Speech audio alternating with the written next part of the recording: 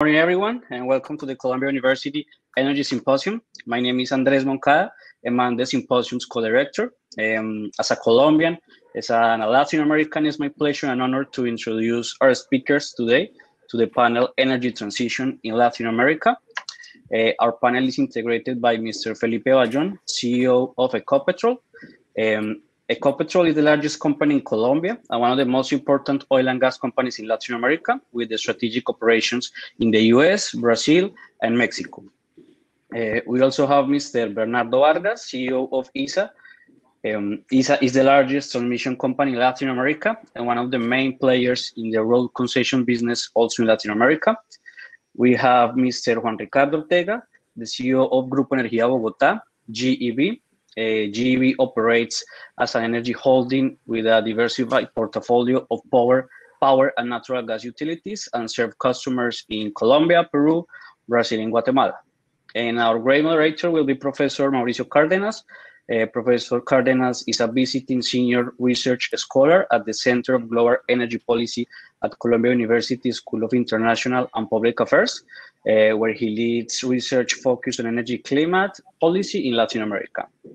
Uh, thank you all for your presence today. And Professor Cárdenas, the floor is yours. Well, thank you so much, Andres. It's a great pleasure to uh, moderate this panel, and congratulations to you and the students for organizing this Energy Symposium 2021. What a remarkable group of uh, CEOs uh, you have uh, convened. They're not just uh, the CEOs of three of Colombia's uh, most prominent um, companies. Uh, they're good friends, and um, and they are uh, top talent in Colombia. So wonderful to have them in this uh, panel. And the topic couldn't be more interesting and relevant and timely. So I think um, you're going to enjoy. I'm going to be looking at the chat box on the right hand side. So if you want to send questions or comments, I'll be I'll try to look at them and try to bring them into our conversation. So let's start with Felipe.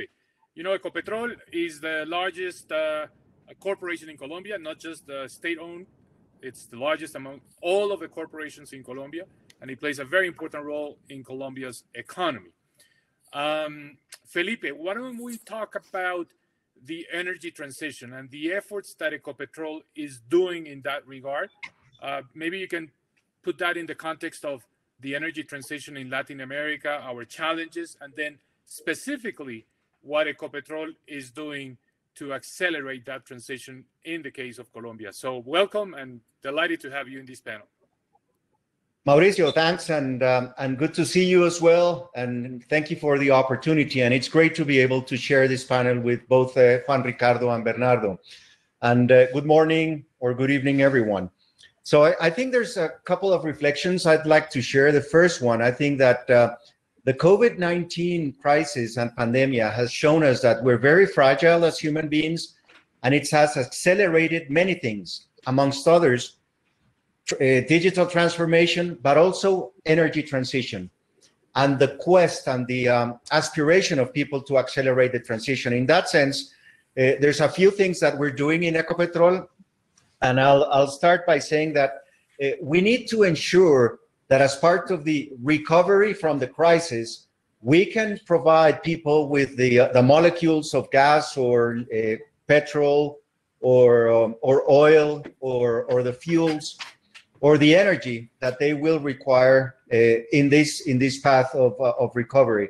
So from that point of view, there's a couple things we need to do. One, we need to ensure that we shorten the time to market of the products. So if we make a discovery, we can bring it very, very quickly to the markets. Uh, we need to um, to be on the path of decarbonizing the um, our operations and the economy. And I, I, I'd like to share, Mauricio, that there's four things that we're focusing on. The first one, becoming every day more and more efficient. And this has to do with we need to be the last man standing, if you will. We will continue to be focused in oil and gas, but as we become more efficient, we can ensure that our products will reach the markets. And that is uh, underpinned or basically levered by uh, technology and in particular digital transformation. The only the other thing is diversifying our portfolio, which means we need to become a, a gassier company, produce more and more gas, which is uh, better with the environment than some of the alternatives. Uh, we will uh, start this year in a pilot to produce hydrogen, green hydrogen, to start testing uh, the appetite for that, the ability to do that in Colombia, and be part of that uh, pathway of hydrogen. Um, and uh, for example, we're starting with renewables in a path to go to 400 megawatts of renewables for self-generation. We're committed to planting 6 million trees. So there's different things we're doing protecting the uh, the core of our business, oil and gas, and doing some additional things. And the other thing I'd like to share is um, uh, we need to continue to decarbonize. Just to share one data point, over the last four years, we've reduced by 52% the amount of gas that we use to flare in our operations. So it's very targeted. And the last thing is this notion of TESG, which is technology, and ESG, environmental, social, and governance. The financial markets, the stakeholders, the shareholders are every time more, uh, I think, interested in, in understanding what the companies are doing around ESG. When we talk about ESG in Ecopetrol, we talk about TESG. So we put technology as something that embraces everything and as a key lever for that transition. Thank you, Felipe. I'm going to come back to you uh, later uh, but let me go on now into ISA and bring Bernardo into the conversation. For those of you that are not familiar with ISA, ISA is a holding company that owns um, several businesses, but quite significantly power transmission or electricity transmission, not just in Colombia, but also in the state of Sao Paulo in Brazil. And it also owns businesses in other sectors like transportation, concessions in Chile, uh, data transmission, a number of companies, but the core business is power transmission. So, Bernardo, how can ISA contribute to the energy transition? How a company that is specialized in power uh, power transmission, um, running the grid, um, contribute to the effort of uh, of the of the um, of the transition in terms of energy for the region? Well, thank you very much. I, I, uh, I'm very honored and, and, pleased to be in this panel. Thank you very much, Professor Cardenas, and I'm happy to share the panel with uh, uh, Felipe and Juan Ricardo, good friends, and, uh, and very knowledgeable in this subject. Now, energy transmission, uh, the traditional system of energy transmission, which is the linear effect between generator, distributed transmitters, distributors, and, and, and, consumers is changing radically with the new uh, prospects that we're looking forward. Because now we're, go- we're going to have distributed uh, producers, we're going to have consumers that become prosumers, so consumers that produce energy. And that in the midst of a very present transition towards renewable sources with intermittent and and and uh, source of, of, of energy, this is a big task for transmission companies. So we have to be resilient, we have to be open to change, and we have to be present, not only to keep on bringing the energy from the basically from the huge generated sources, traditional sources, whether water or gas or or but we also have to be present in the midst of consumers in the middle of the whole thing. And that means that we have to be, one, very present in the technological transformation of the business. We have to be there in innovating in every step of the line. We need to be present where uh, we have to be digital, uh, uh, making sure that all our equipments, all our assets are connected digitally so we can be present before failures happen. We need to be present in events where the uh, uh, sun or the wind uh, is not present, or events like the recent event in Texas to make sure that transmission happens even in the midst of huge problems. And that means that transmission companies uh, have to be present internationally between states. In Brazil, we're present in 17 states, and there's huge connectivity between the different states. In Colombia, we do that uh, as well, also in Peru. but we need to further be able to uh, promote international transmission lines so that resiliency happens not only within countries, but through countries that adopt more and more intermittent, non renewable sources of energy. And this is very important for the international geopolitical discussion because in the past, countries have, have protected their, front, their, their, their, their, uh, themselves uh, from other uh, countries coming in to protect them in, in, terms of energy. And this is a big mistake. This is exactly what happened in Texas. Texas was like in, in an island. There was very few connections between Texas and other uh, grids in the United States. And that was one of the main reasons why Texas had such huge problems. But that's happening internationally, you know, and and and there's countries that are leading the way. The Nordic countries in Europe lead the way to be able to promote international transmission lines to be present where the growth of non-renewables become more and more present. Absolutely. Well, this is a very powerful message, which is, and I heard this before from you at a panel we had at the World Economic Forum. Energy integration is indispensable for the energy transition because the more integrated we are, and uh, we're talking here about Latin America, the easier it would be to develop these uh, energy sources based on on renewables and particularly on unconventional or non-conventional renewables. So this is a powerful message, important for the Biden administration as it looks into ways to re-engage in the region, because uh, supporting this energy integration could be fundamental for the energy transition. But let me bring into the conversation Juan Ricardo. Juan Ricardo is the CEO of uh, Grupo de Energía de Bogotá, GEB, also a holding company, and a holding company that owns several businesses in the energy generation, um, energy distribution, also transmission, and also in the natural gas sector with transportation of natural gas, not just in Colombia, but in other parts of the region, including Peru. So Juan Ricardo, a broad set of businesses, but I'd like to focus you on the demand side since you have a wide base of customers in the city of Bogota and the surrounding areas.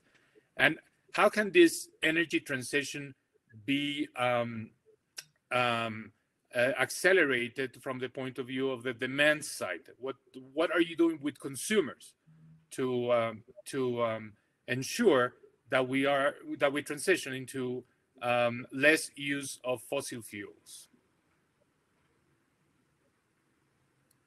Thank you, Mauricio. It is really a great pleasure to be here and not just seeing you again, but among great friends like Felipe, Bernardo, and Andres. Thank you. I, I think it's a pleasure uh, to be part of the panel. Uh, let me, before I jump into that, follow on what Bernardo said. And, uh, and, and we believe strongly that being constructive in this transition, you need to look at gas, transportation, and electricity transmission as complementary businesses. Uh, you will need to have quick ways to generate energy to keep the system running when you are using intermittent sources of power like solar or wind.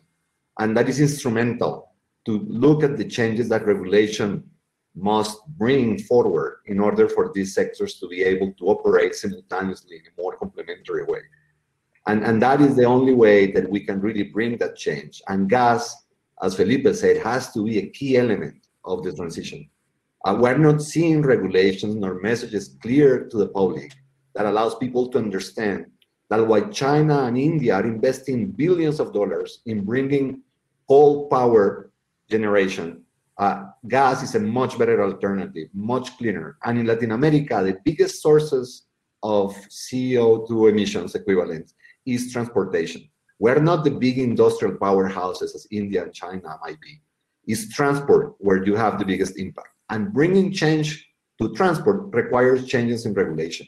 You need to bring the right stimuli in order to get trucks to shift from diesel, which has huge impact in, in, on, on, on emissions, to electricity, which is going to take a while, but in the meantime, to gas. Gas in big transport is there and you would reduce 60% emissions if you were to implement that, but you are not getting the messages because gas as a market is not as well developed. And that is one of our challenges from the point of view of distribution. How do you get people to understand that there are alternatives out there that might not be perfect, but that would work very quickly with huge impact on the environment and the quality of air in the cities. When you look at the statistics from the COVID, one of the things that you learn is how damaging are particle emissions from coal and diesel on the environment, particularly in big cities like Bogota. You could clearly see the impacts on the public health of young children, that their, their problems with their lungs dropped dramatically when most people stopped. That can be resolved 100% if gas were to be pushed in most of the transport system. And motorcycles can be moved into electricity very quickly but you have to get the right incentives and the right messages. So that's one of the highest priorities on our side. Bringing the city to complement the activities of the company. You know, our partner is Enel. You were a former CEO of this company, so you know very well. You should have said that at the beginning, that, that you were the CEO of Empresa Energía de Bogotá a long time ago. And you know that our key complement is Enel, which is the Italian company that runs the distribution of electricity and the generation on behalf of the Grupo Energía Bogotá. And they are working very closely with the city in two dimensions. One, creating an optical network throughout the city that would allow the smart meters to come forward in Bogota. As Bernardo said very clearly, bringing the consumer, that is going to be the prosumer, into the market is key for efficiency decisions to be taken. We need people to begin to be conscious of their use of energy.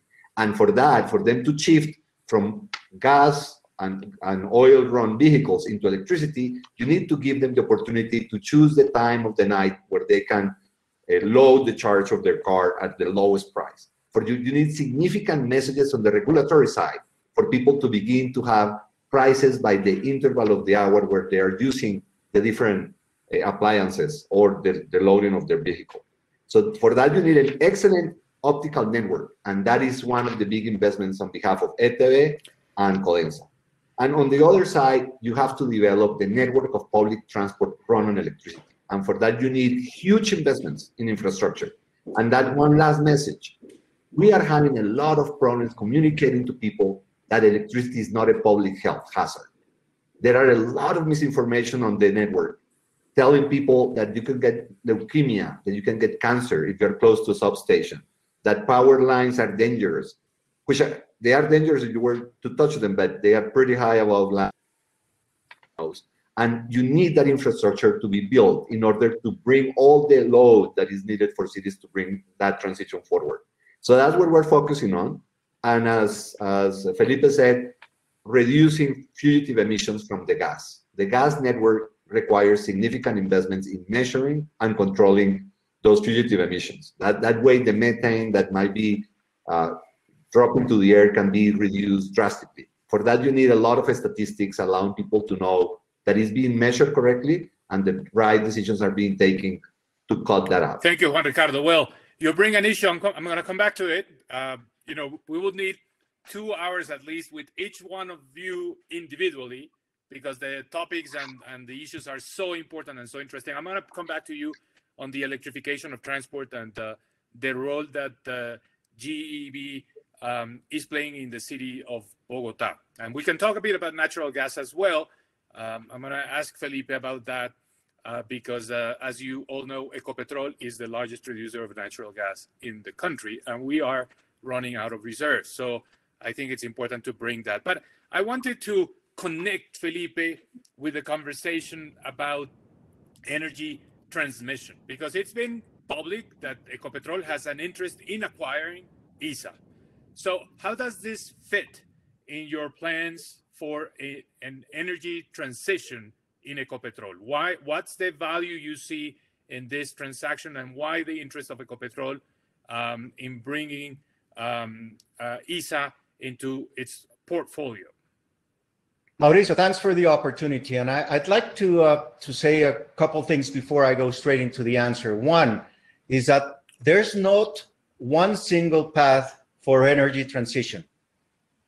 It may be different part, paths in different parts of the world, and done differently by different governments and countries.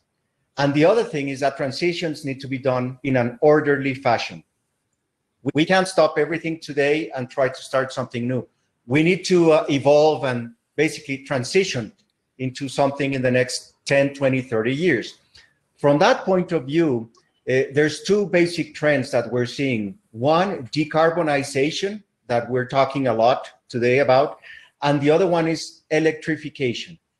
And I think Bernardo mentioned it in spades, you know, in terms of how the markets will change, how the prosumers will have a different role to play. So from that point of view, we see the opportunity of in the non-binding offer for the 51.4% equity that the government owns in ISA as an opportunity to uh, basically by bringing the two companies together, create a more stable, resilient, naturally hedged company that has regional presence. And from, from in that sense, Mauricio, uh, ISA is a company that we admire, that has done uh, great things in the past uh, in the past uh, decades and, and few last years in terms of growing its business and ensuring that it, has a very relevant presence of leadership in different parts of the region. So we want to learn from that. And uh, I'll, I'll, share something with you. Uh, for every unit of EBITDA, and this is 2019 numbers, ISA emitted only 1% of the equivalent emissions that Ecopetrol had to emit to produce that same unit of EBITDA. So when people ask me, does that make sense in terms of combining the companies? And I say, absolutely. It's about that road to electrifying. And at the end of the day, what we're trying to do, Mauricio, is to by providing energy to the people, we can continue to close the gaps that we have today in society, and we can underpin or be part of the backbone for the recovery. So again, a company that is very well run, that has a very um, well applied and implemented strategy, uh, a world-class uh, uh, resource from the point of, uh, of the human resource. So we're very happy with that. Still, the process needs to to continue. And I think as, as we are able to, uh, to talk more to uh, stakeholders and analysts and, and the likes, people say, wow, we understand now the merits of this uh, strategic um, move that is, is, is good for ISA, is good for Ecopetrol, is good for Colombia, and is good for our shareholders. So we do believe this is about thinking uh, about the Ecopetrol for the company in the next 20, 30 years, we won't lose focus on oil and gas. It's part of energy security for Colombia. It's fundamental for the recovery, but it's trying to have this vision of what the uh, the markets and how Colombia can continue to evolve in the next 20 to 30 years. Thank you. Thank you, Felipe. Let me come back to you, Bernardo. Um, I'm not, I'm not going to ask you about this transaction. Thank you. Um, uh, so, uh, so uh, let's focus on the value of ISA um, uh, in the future, because uh, we talked about the energy integration, and I think a lot of it depends on political issues, as you mentioned.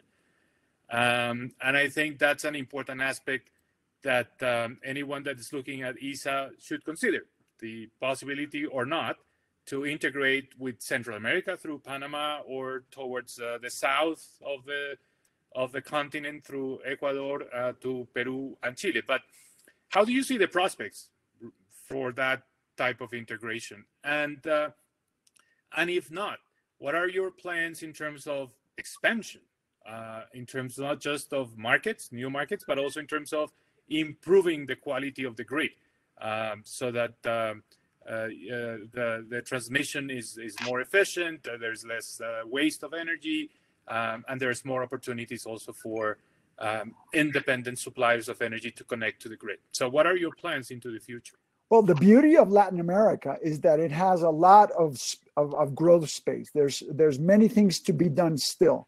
There's wide areas of population and of countries within Latin America that are still unconnected, and of course that has a direct uh, uh, relationship with poverty with education and with getting uh, the very high levels of inequality in the re- in the region be more equal. And I think that large infrastructure, but very specifically, energy transmission has to do a lot with that. So the good news is that there's still a lot to do. Uh, not even mentioning countries that haven't had any investments in, in energy infrastructure in the past 12 or 15 years. And I mentioned very specifically countries uh, like Venezuela, who at the beginning of the 2000s had the more had the more advanced energy system transmission system in Latin America, and it hasn't done any investments for many years. So there's huge potential there, and also Argentina. Argentina needs to do a lot more investments in in in infrastructure in general.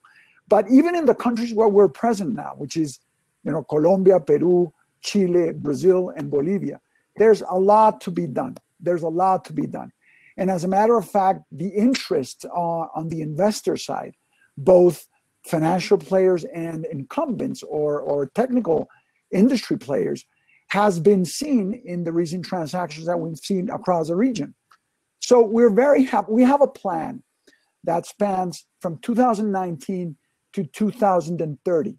Very specific plan, very well designed, that started by having 12 of the best experts in the world to let us know what their view of the energy world would look in 2040 and 50. We integrated that plan into a very sound business plan with KPIs, with strategies that has a, an amount of $12.5 billion investment across our, our, our different businesses in the region from here to 2030. And that's going very well. Uh, we're very happy with that. So there's a lot to do. And in fact, if what you say about international transmission integration happens, the more. So there's a lot of space for us to grow. But on the back of that, two more aspects. One, technology and digitization, blockchain systems to manage data. There's that that that's key, and that gives us also a space for growth. And last but not least, everything I've said has to be supported by sustainability. We cannot be profitable if we're not sustainable. And that's part and parcel of our 2030 strategy. As a matter of fact, our transmission companies are carbon neutral today, and we hope to have all our businesses be carbon neutral within the next couple years. We're going to also uh, have 11 million tons of CO2 uh, uh, supported by us. So, so we, we, we become a very green company. But we're also know, we also know that we impact in one way or the other 200 million consumers in Latin America. And we're present, understanding their needs and making sure that our motto, which is connections that inspire, is present in everything we do.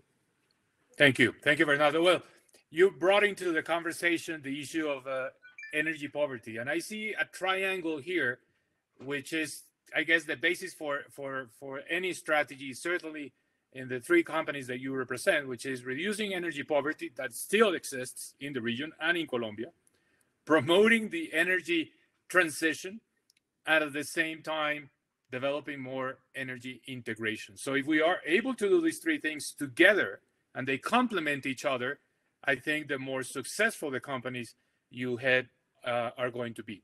Let me come back to Juan Ricardo. So, in your previous uh, remarks, uh, you you had two kind of like messages. One is that we have to promote the gasification of transportation, especially for the trucking business, but also the electrification. Yep. Um, and electrification more in the context of public transportation, but also private vehicles. So are are you promoting these two strategies sequentially, or is this an idea that the two strategies um, can be combined at the same time? You can do gasification in some sectors and electrification in others. That's one. That's one aspect I'm I'm curious about the strategy of the Grupo Energía Bogotá. But I also I also have heard you, and uh, you are an active uh, user of Twitter uh, on the issue of the transaction of ISA. And I think it will be completely unfair if I don't tell you, if you can tell us what your arguments are for that process to be more open so that uh, companies like yours can participate as well. So what's your interest in ISA? Why do you think there is an interest? Why why, why do you think it's a it's a good complement for for your own um, um, strategy? So. Okay, perfect, Mauricio. Those are very, very good questions. Uh, let me begin for the by the easy one, the first one. Uh, definitely, you should move forward in both. Uh, the city of Bogota is trying to electrify most of the transport, but you need to get the, the, the trucks to shift into gas, and for that you need clear messages. It cannot be done in one day. Uh, you need to just give the, the long-term signals that you want them to move quickly into gas. You cannot transform a motor from from gas, uh, uh, petrol to, to just natural gas over, over a day. You lose a lot of efficiency. You need to buy a new truck that is being built to use natural gas from the start. For that, you need the process of the old vehicles being taken out of the market and being replaced by the new ones. You need the right incentives. And these people are not the wealthiest ones, particularly most of the meat truckers. You need to give clear incentives on behalf of the government for that to happen. And on the other hand, there has to be a carrot stick approach. You have to create and make it much costly for them to have uh, gas uh, gasoline run vehicles. And for that the carbon tax that you introduce has to be stepped up gradually for the next 10 15 years. That, that there has to be a message that the 170 dollars per kilo of carbon that is a goal. That we have to reach that level at some point. It not be tomorrow but in a decade or two decades for sure. We, can, we have to let people know that we don't want those diesel vehicles around contaminating the cities at some point. It has to be gradual. And for the ones that are from the poorest backgrounds, you have to give them incentives for them to be able to shift. But definitely something that must be done quickly. And, and the messages have to be out today, not tomorrow. So you have the time to adjust because this is happening. Now, when you look at the, the changes in climate already in Colombia, when you go to the Guajira, the increase on very high temperatures that, that is not something in 10 years, it's happening now. And when you look at the statistics, you can reach temperatures of 50 degrees Celsius over 30% of the year. If that were to happen, the impact is going to be dramatic. Literally, whole population will have to shift their ways of life. So we need to begin change in these areas very quickly. And particularly the, the, the trucks are, are a key area. And and the control of the emissions is really pathetic. You know, when you drive around Colombia, as I'm doing now, uh, you, you, are clearly looking how these people are not controlling the level of emissions at all throughout the country. So you can do things now if there is the will. Now, why why Regarding ISA? Uh, we, we, uh, that, that would be the way to create that complementarity between gas transport and electricity transmission. I strongly believe the electricity sector is going to be a huge winner uh, there are expected 16 million kilometers of investment in transmission lines. And to have a partner like ISA would allow us to bring not just from Latin America, but going to the US or Europe, where investments are needed because most of the renewables are not near the cities, as opposed to a, a, a thermo a thermal turbine that can be placed anywhere. Wind and heat are where they are, no? in Morocco, in Algiers, in La Guajira. So you need huge infrastructures in the next couple of decades. There are going to be huge investments in that sector. And being a, the two companies in Colombia in the region that control most of those assets, putting them together would make a lot of sense. But it would make sense as well to have Ecopetrol, the Cenit part, as a complementary one, because you have to have all those transportation and transmission. You can make a huge company that is focused on this key element of the transmission, which is giving people access to the energy source, either hydrogen or gas, or electricity. And for that, you need the networks that allows for that energy to reach the houses, the cities where it is needed, the companies. And having that all throughout the region would give Colombia a very strong company that would be very competitive. We don't see Ecopetrol out either. No, it could be something that the three companies together could build, and you would have a powerhouse for the future, which is going to be one of the most critical sectors in the world Thank in the you. next two decades. Interesting, interesting insight. I'm, I'm, I'm going to reframe. I'm just the moderator. I'm going to refrain from making editorial comments. But if I were allowed to make just one, um, not related to the ISA transaction, is related to something you said uh, uh, in this last answer, which has to do with the carbon tax. I certainly feel very proud of having introduced as finance minister the carbon tax in Colombia, five dollar per ton of CO2 tax. Uh, and I fully agree with you that we have to continue increasing the carbon tax. And I hope you support and everyone supports the government in that effort. I have to say that I was not able to include in the tax base of the carbon tax natural gas. And I think natural gas is certainly an emitter of CO2, and there's no reason for natural gas to be exempt from the uh, carbon tax. We were able to introduce the tax uh, on natural gas as it used by the refineries. So Ecopetrol pays a carbon tax on the natural gas it uses in the refineries and in the petrochemical business as well, but not in transportation, not in manufacturing, not certainly um, in residential use. And I think that's a that's something where um, an improvement needs to be made because that that was one exemption that makes that creates a hole in the in the carbon tax. Talking about natural gas, I, I didn't mean this to be a topic of the conversation really, but it's so important, especially when Ricardo has mentioned the idea of the gasification. And I'd like to ask Felipe, how are we doing in terms of the um, exploration of natural gas? Uh, because uh, everyone knows that our fields, especially in the Guajira, are maturing, maturing very fast. Um, so, do we should should we embark in a strategy for gasification at this stage? So, Mauricio, the, the first thing is that um, I'd like to share with the people that are participating today that uh, last year Ecopetrol invested 2.7 billion dollars. This year, 2021, we want to invest four billion dollars. So, point number one, we're increasing our capex, our investment by 50 percent. Over the next three years, our investment could our investments could reach 15 billion dollars. Out of those, 1.3 billion dollars are exclusively dedicated to gas. Just to highlight the importance of gas. And what are we doing? We're looking at the fields in the Casanare, so Cusiana, Cupiagua, Pauto, Floreña, all the, the, the train, the, the gas train in, in Casanare, the Piedemonte train, uh, we want to produce more out of that region, and it produce it basically it, it provides the market through Juan Ricardo's TGI tubes or gas pipelines 50 or 60 percent of the consumption in any given day. So a lot of, of, of work being done in Casanare, lot of work being done in uh, Middle Magdalena, a lot of work in the continental Caribbean coast of Colombia, and a lot of work in the offshore. We want to drill uh, one of the largest wells ever drilled in Colombia by the end of this year to uh, appraise, which is basically understand how big the fields are uh, in Golfo de Morrosquillo next to Panama. And we want to produce the well to get dynamic production data.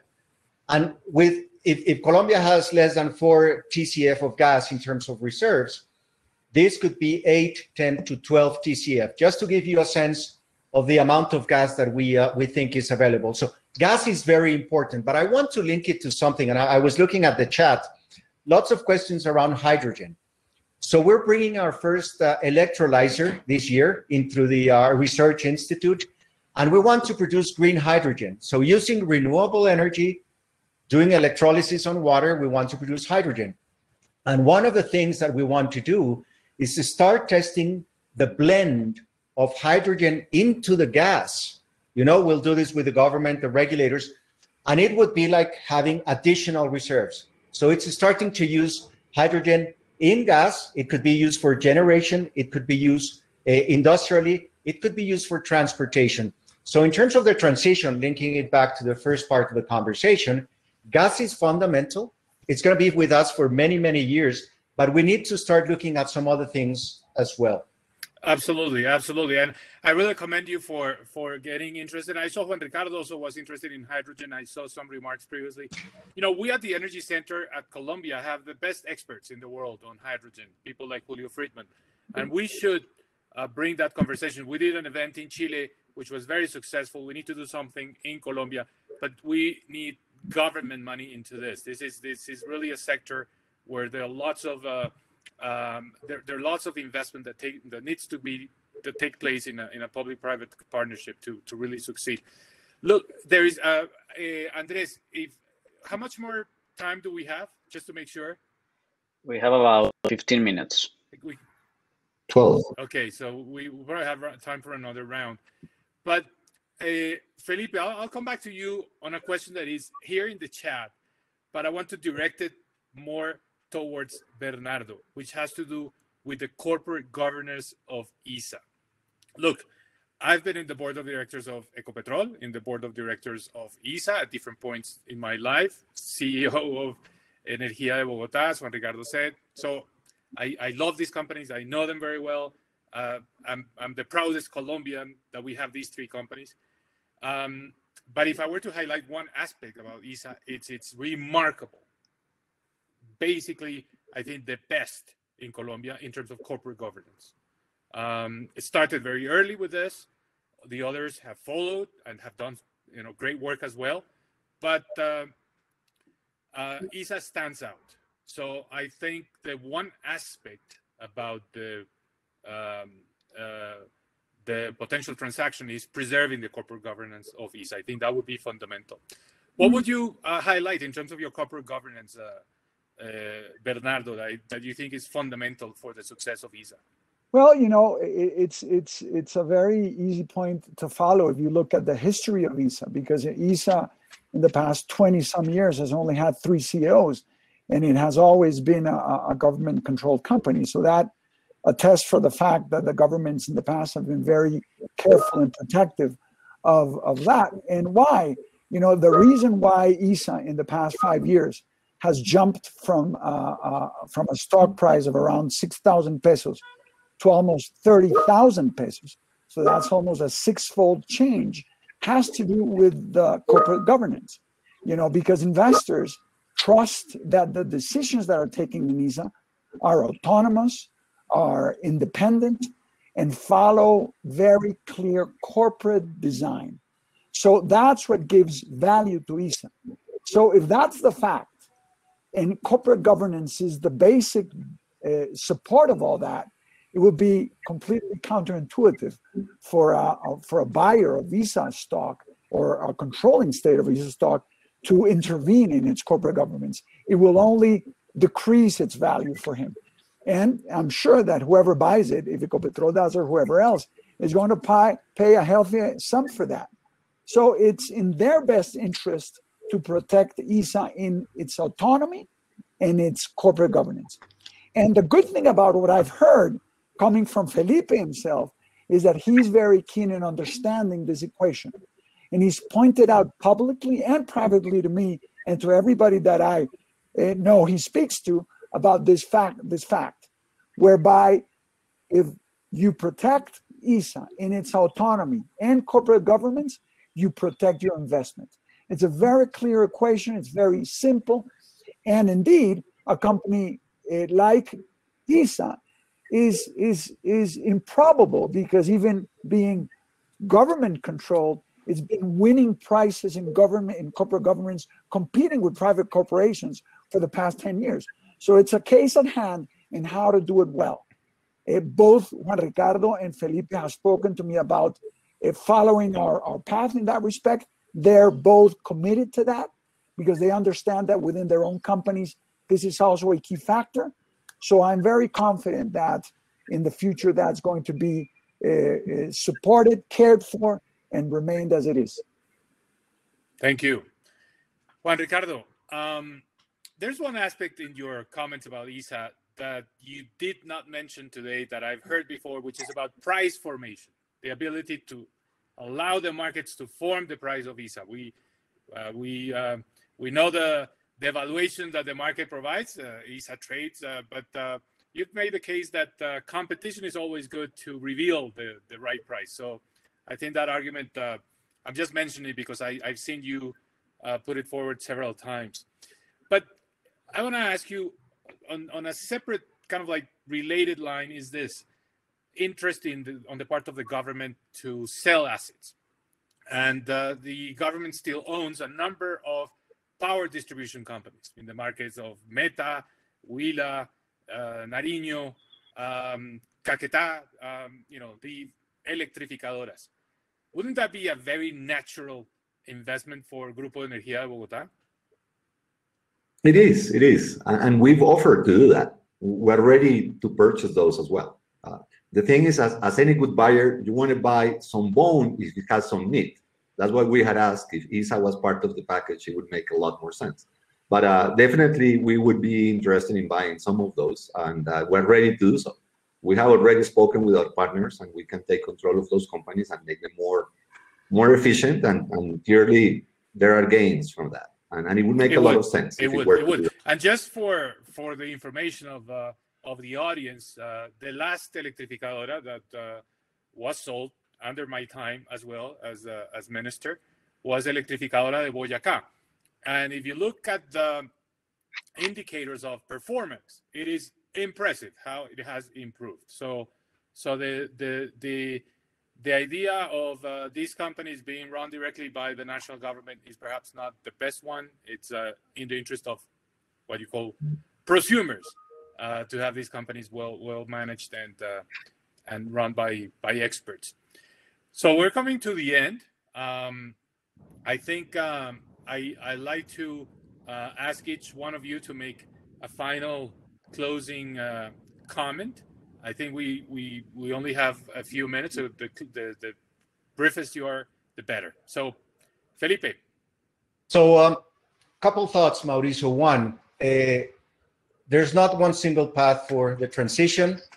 Different uh, paths will be taken, but I think we need to understand that it's fundamental that we continue to decarbonize and we continue to electrify the world. And some of the questions in the chat talk about inequality or energy poverty, and I think Bernardo uh, referred to those topics very well.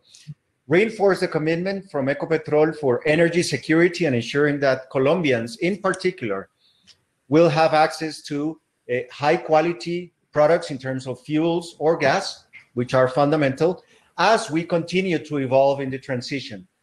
Just one, one um, data point, each Colombian is responsible for five tons of CO2 emitted every year. It's not a problem only for government or for companies or for regulators. It's a problem for everyone.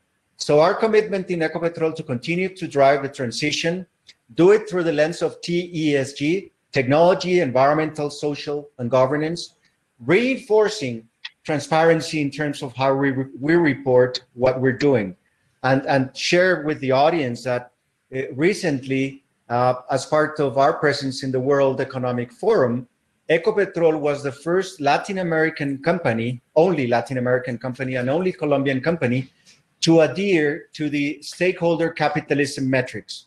It's going to be a journey, but it will provide additional transparency. And I think people are urging for that. There's expectations that we tell uh, openly what we're doing, what our plans are, and that we share in that sense. And our commitment to continue to provide energy as we are fully um, convinced that it will help us close the gaps that we have today and underpin and support the recovery that it's much needed. Thank you, Felipe.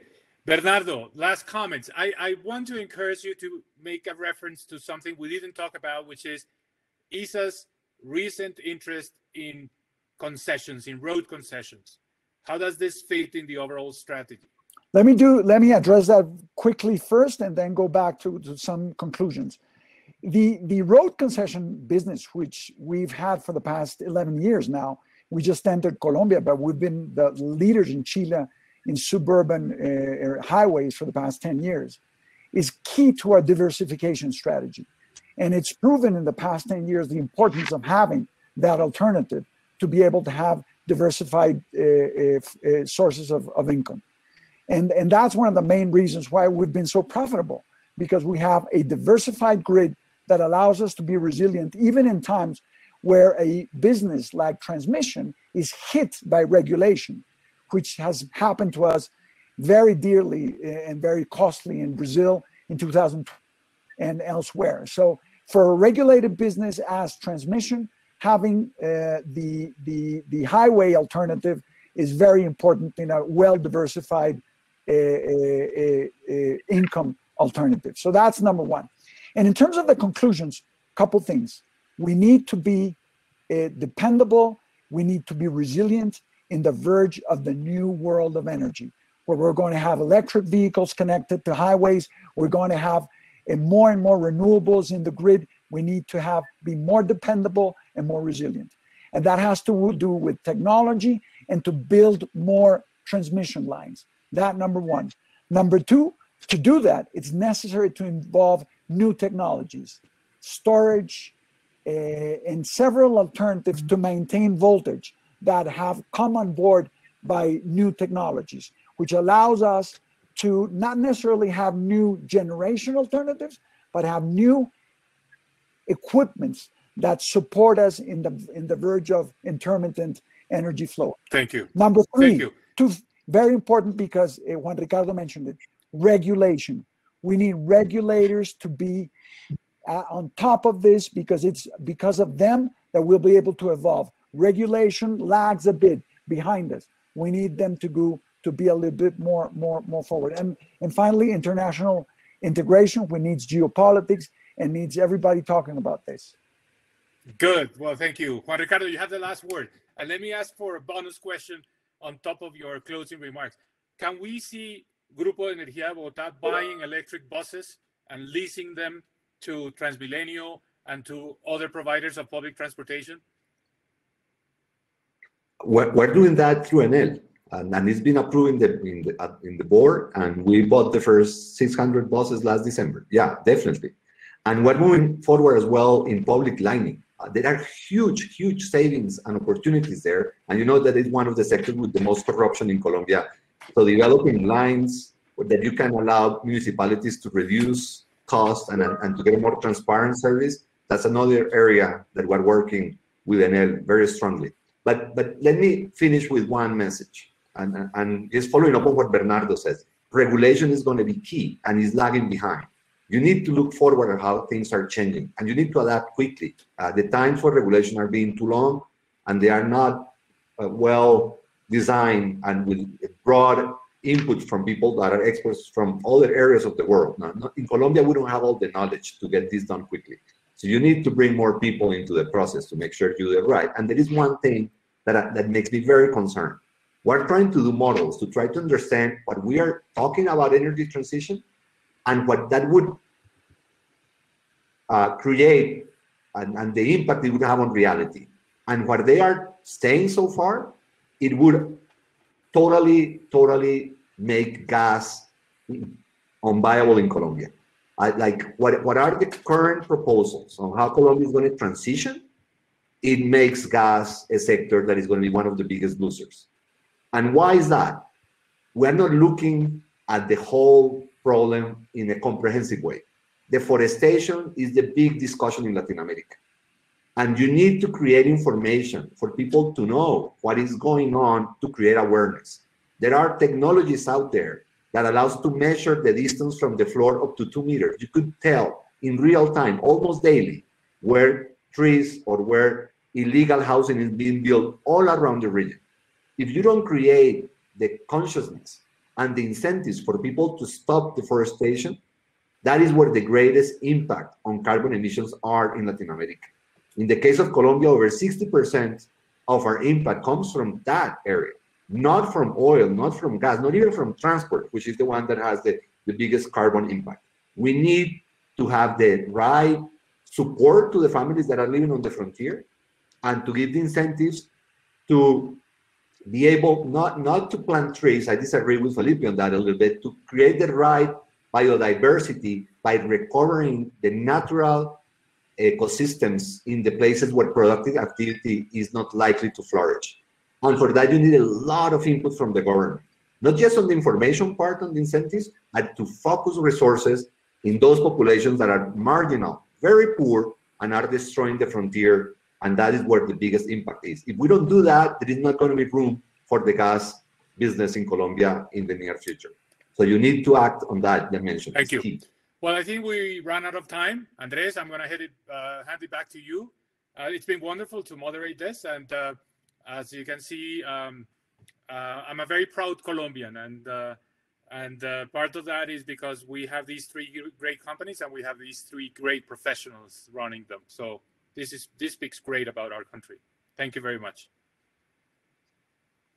Thank so, you. Thank you very much. Thank you. Gracias.